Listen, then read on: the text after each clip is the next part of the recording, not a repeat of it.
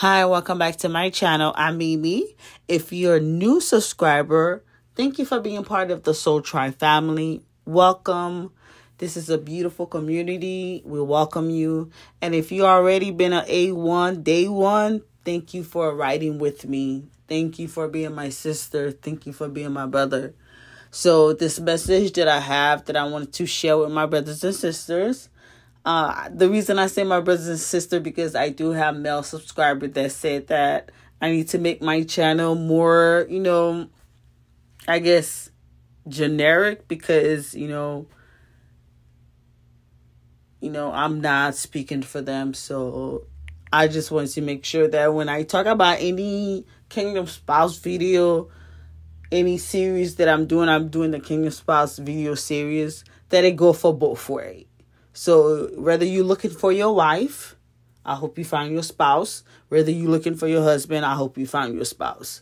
So I just wanted to make that clearly because I do get message about that where my male subscribers feel like I am not talking to them because they feel like that my channel is mostly, you know, generic to to women and I understand that. So but I just wanted to, you know, to make sure that they are including that this message is very it go for both way. So the reason I'll say spouse or I'll say your significant other or I'll say your better half is whatever that you are looking for. If you hear this message, is for you. So basically, so um this message that I want to share with everyone, it was a few days ago. A few days ago, I remember I was just worshiping and and I was talking to God and I was telling God, I said, God, okay, so you have this husband that's coming for me. It's all, you know, you you worked it out for me. And I said, and I told God, I said, you worked it out for me and everything is so perfect. I said, God, do I have to do anything else? Do I have to do any work? Do I have to what what else do I have to do to make this husband come? Because I've been waiting like forever. And then God said, I actually want you to do one thing. And God said, I actually do need your input because even though that I am I'm sending this husband for you, I do want you to have a say so. And God said that this message God said, Tell my tell my people have a love list or a love letter to their spouse.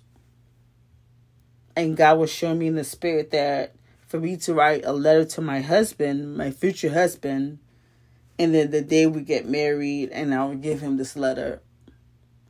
It was just a very like you know how you know like I was worship I've had worshiping music on and I was just in that gratitude and and I was t- thanking God I was like thank you God you know for every blessing you know think like I was really on the like I was vibing with God. I was feeling so good. Thanking God for his blessing. Thanking God for rescuing me. Thank you, God, for saving me. It was like on something like that. And then God was telling me that God said, Your spouse, it, it is coming because I already set that for you. But I do need you to have a say so. So you're going to have to write a love letter or love list. A love list is what do you want in a husband? What do you want in a wife? So if you want to write a love list, tell God what you want because you experience so many, you know, heartbreak and people disappoint you and betray you. Tell God what you want and he's going to give it to you. If you don't know what you want, Write a love letter to your future spouse. And the day you get married, you give that letter to your future spouse that said, Before I met you, God had told me to write a love letter to you. I know you was coming. I just didn't know when. Sometimes I was impatient, but I knew you was coming. So this is my love letter to you. So if you hearing this message, not a lot of people are gonna get to hear this message. You know, one thing about God word is it's for the people that's looking for it. So if you're not looking for that type of like if you're not in love or you're not looking for no love message, then this is not your message. This is messages for people that have been told your husband is coming. You've been waiting, you've been hearing it. You hear so many Kingdom Spouse video and you have never met your husband and you're like, God, what is going on? I'm just waiting and just waiting and just waiting and just waiting. And God said, Now, what I need you to do, the complete part that you have to do, God wants you, because it's your free will, you have free will. So God wants you to be part of it. So you have to do one thing. If you get to hear this message, this message is for you. If you're waiting for a spouse or you're waiting to get married, you have been you know you you you you've been in the isolation period for a long time and you graduated you passed all the tests got you know the test that you needed to pass and you ready to be with someone. So god said that write a love letter to your spouse or write a love list. A list is what i want in the person. Like let me give you an example. Oh maybe whether you mean Okay, for example, if I were to do a love list, I would say, I want a godly man. I want a man that's after God heart. I need a protector. I need a God, you know, a person, the provider. And I need a person that have a kind heart like me because I have a very, you know, kind, sensitive heart. And I need to be someone with that's human humanitarian. So he gotta be like be able to want to help the community and make the world a better place. If he's a selfish person, then he can't be with me because I'm all I love giving, I love giving back, I love making the world a better place. So if you don't want to make the world a better place, well, I'm trying to make the world a better place is not equally yoked. So this season, God is actually putting us with people we are equally yoked. People that actually like the same thing we like. People we don't have to beg, we don't have to wonder, we don't have to question if they like us, if they feeling us, if they're gonna dump us, or another thing God said with your past relationship, you overdid it. You always the one that, that that buy the gift, that that overdid it, that buy this, that did this, that paid for this God said, with this, with your husband, with the person you meant to be with, you don't have to overdo nothing. You don't have to overreact. You don't have to overgive. You don't have to over impress. Like, oh, I'm trying to impress this person, so I'm gonna do things that's not even me just to impress this person. No, those was the fake people. The fake people you had to impress them. But this person that's coming for you, they love your the stuff that you find ugly about you, they love it. So it's not the same thing. So get comfortable. Get comfortable. Your husband is going to take care of you, or your wife is going to take care of you. They're going to make sure that you are good because this time you having someone that's coming in your life that actually love you that's going to show you what love is about. You never had love. You never experienced love. You experienced heartbreak, people that backstab you, even your mom and your dad, they can they was emo- not emotionally available for you. So you could never really express yourself, but your husband or your wife this person is going to be very attentive, very sensitive to your spirit. They're going to be like Mama Bear or Papa Bear, overprotective over you. Take care of you. Make sure nobody don't mess with you. Nobody steal from you. Nobody use you. Nobody do nothing to you. God is sending you um, if you ever remember that movie with Whitney Houston when she had that um bodyguard movie, I don't remember the title, but God is sending you. Your husband is going to be your bodyguard. He's going to be your protector. He's going to be your provider. He's going to make sure that, you know, nobody going to come and hurt you ever again. The people that hurt you in the past, it was for a lesson. You had to learn the lesson. I had to learn that lesson, even though I was like, God, what did I do? I didn't do nothing. I was just trying to show them love. But I had, God showed me you was too naive. You was too gullible. So now that I have discernment, it, you know, it's different. So stop blaming yourself for what happened in the past. What happened in the past happened in the past. It teach you to be a, a better person Now you learning better. You know what mistake not to make anymore. You know what people not to hang out anymore. So everything happened. Now you have a better, a greater conscience. You are more mature now. People cannot play you. Back then, people could have pimp you. Now they can't play you. they can even come and try to trick you and play you, give you any type of game to make you fall for or scam you because you you've been through it. You overcome everything. You have mastered it.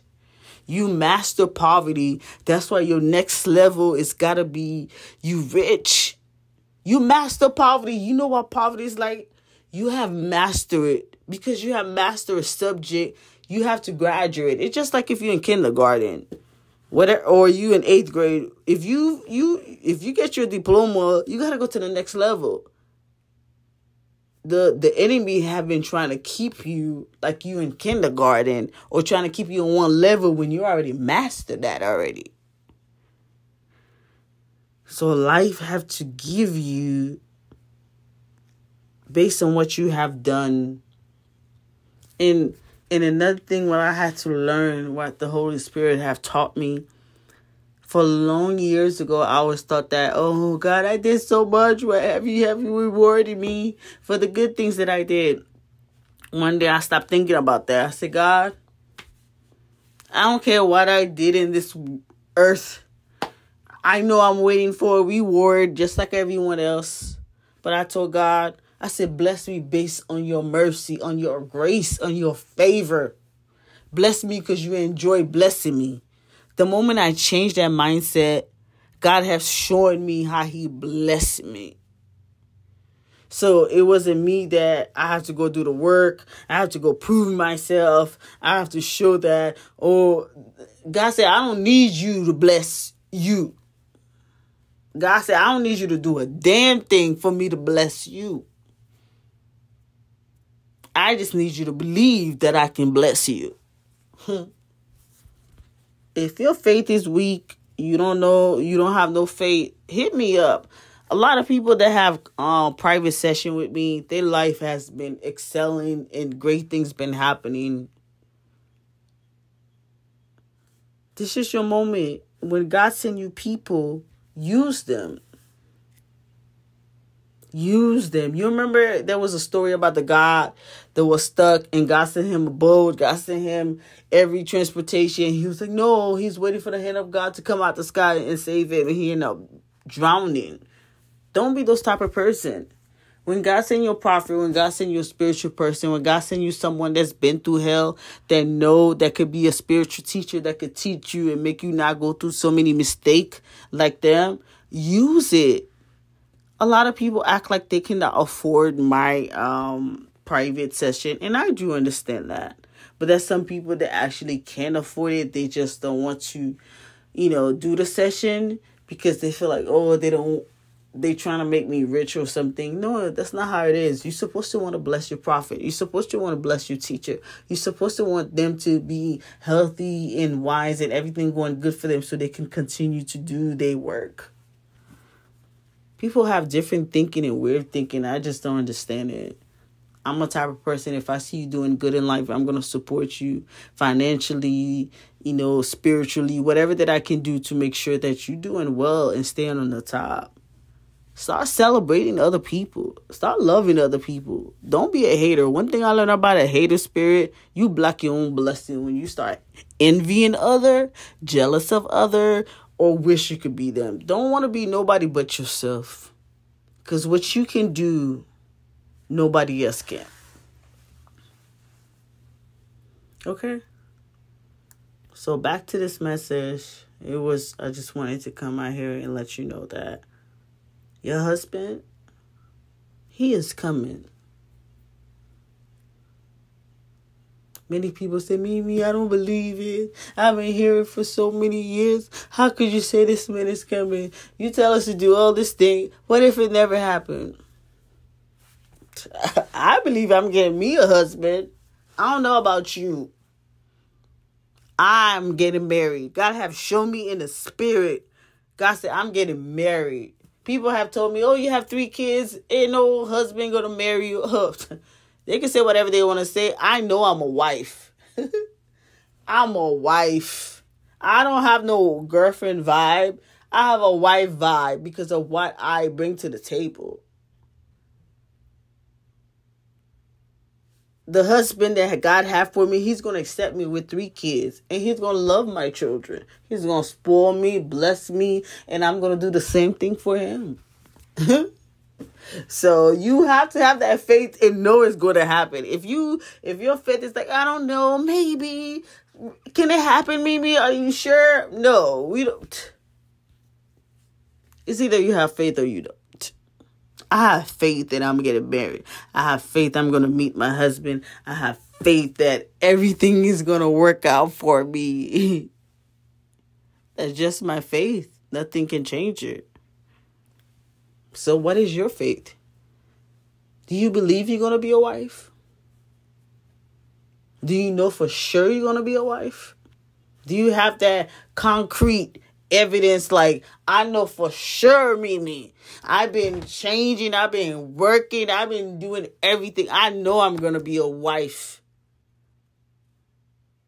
And remember, this time that's coming around, past relationship, you might think this relationship not going to work, but God is putting people together because it's for a divine mission. I keep telling everybody it's a divine mission.